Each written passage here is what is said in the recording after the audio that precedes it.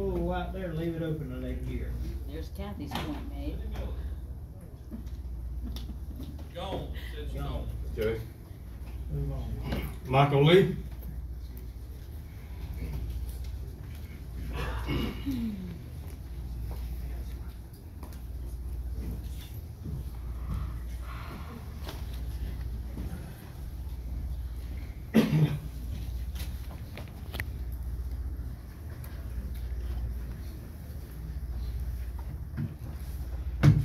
Chairman, Commissioners, thank you for the opportunity to speak. My name is Michael Lee. I'm at thirty-two eighty-six Southeast one twenty-ninth Street here in Starke, Florida. I'm a five-plus generation Bradford County resident.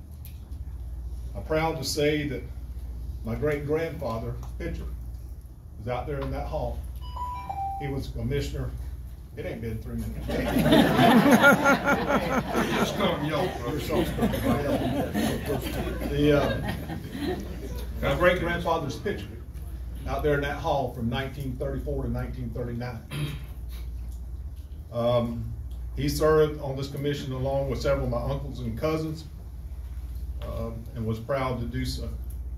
My sister lives on a farm. It's been in the family for over, in excess of hundred and fifty years. So we've been around Bradford County for a long, long time. I'm also a second generation Florida plant retiree. My dad started work out there at the Florida plant in 1955. He worked till 1990 at 35 years of service. I recently retired in 2015. Together, he and I uh, was at that site out there for 60 of the 70 years that the site currently is celebrating.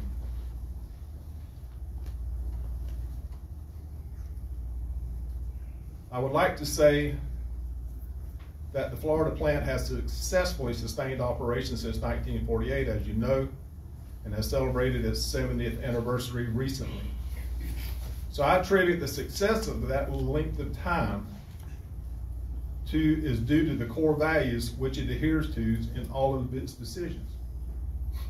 Those core values are safety and health, environmental stewardship, highest ethical behaviors, and respect for people.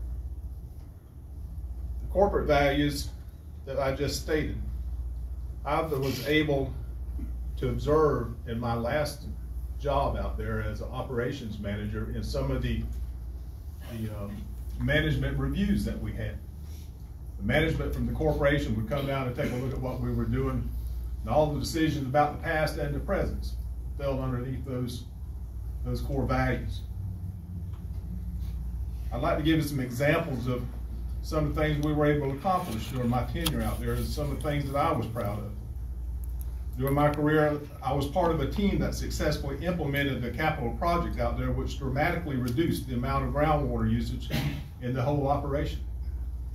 That was over a million dollar project.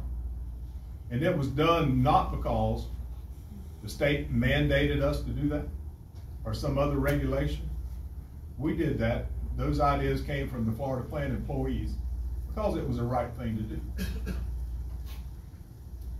Another example that I was proud of was when uh, a team of local decision, I mean, local citizens helped develop, a, of local uh, employees helped develop an after-school facility in Lawtey where elementary school kids, so I, I apologize.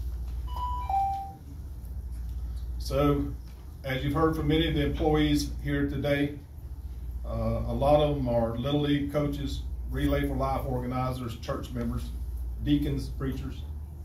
So, in closing, I'd like to request that you pass the request for permit application based on the 70 years of history and the quality of the employees that represent this county. Thank you.